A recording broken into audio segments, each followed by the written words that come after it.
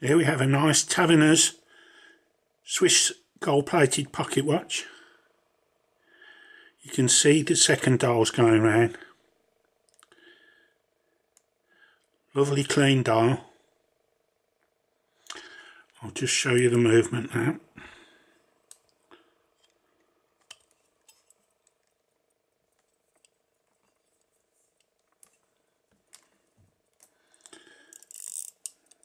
Watch up.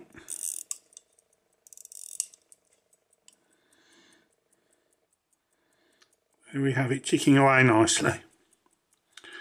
It's a lovely bright three quarter plate on it. And its crown winder set to set the hands.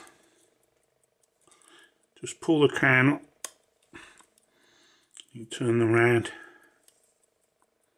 Push it back in.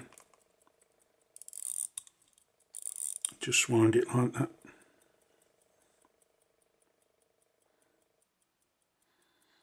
There we are. Thank you very much for looking and please stay safe.